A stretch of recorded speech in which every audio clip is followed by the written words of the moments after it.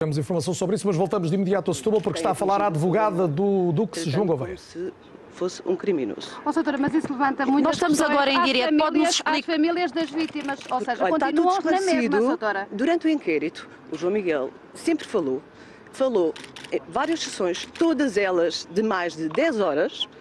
Eh, a, senhora, a senhora jornalista deveria consultar o processo e Ó, ver consultei e não e fazer também uma que versão nunca falou que parece um argumento, não que parece mais um argumento de telenovela, sabe? Eu queria lhe perguntar, nós estamos em direto, porque é que, eh, porque é que o João Gouveia não esteve aqui E, presente? Pode-nos esclarecer, estamos agora em direto. esclarecer. Mas estamos agora em direto, pedia-lhe o favor de repetir, por favor. Pela pressão, pela pressão mediática que tem vindo a ser feita. João e não só, também pela forma como tem sido perseguido, na discussão pública que os próprios assistentes, com todo o respeito pela perda do- dos filhos, têm feito, atingido o seu bom nome.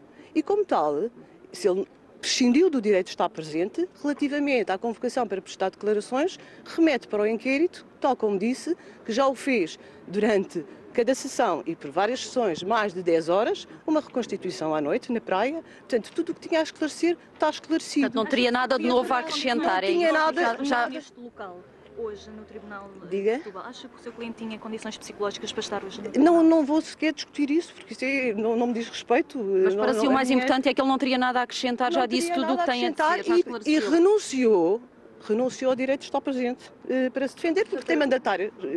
Quantas é pessoas é que faltam ouvir neste debate instrutório? Eh, Falta uma, uma testemunha Vai ser ouvida quando?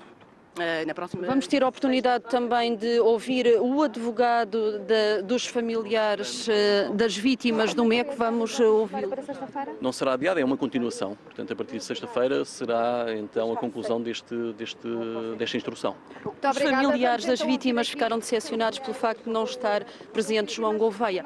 É óbvio que esperavam que o João Gouveia estivesse presente, até para esclarecer e possivelmente até poderia ser uma, uma a forma de colocar um ponto final neste processo. Mas a advogada acabou de dizer que ele não teria nada de novo a acrescentar e que já prestou todos os esclarecimentos. Não, como é óbvio- essa a Como vossa... é óbvio, as declarações que prestou anteriormente em sede deste processo não, não têm qualquer validade porque não foram prestadas na qualidade de arguído. Portanto, este era um momento oportuno para, se não existe nada a esconder, contar tudo aos pais. E, portanto, não o fez, eh, traz as razões dele.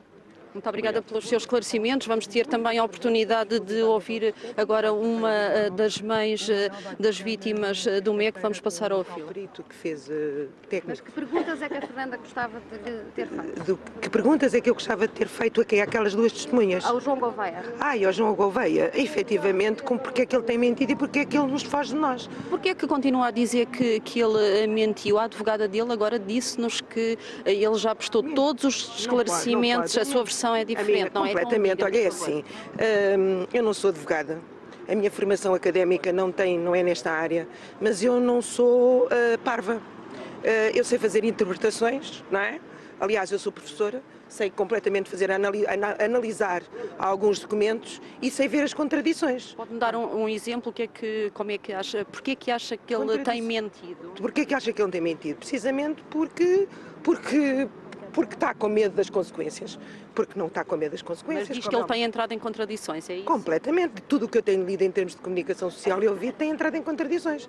E gostava Completamente. que ele hoje tivesse Contradições estado com os depoimentos que fez seu- ao, ao senhor eh, Procurador da Almada. Bom, são então eh, versões eh, diferentes deste caso. Os familiares das vítimas gostariam então de ouvir aqui João Gouveia para lhe fazer algumas perguntas. Ouvimos então a advogada do Dux a dizer que ele não tem nada a acrescentar e já disse tudo aquilo que sabia.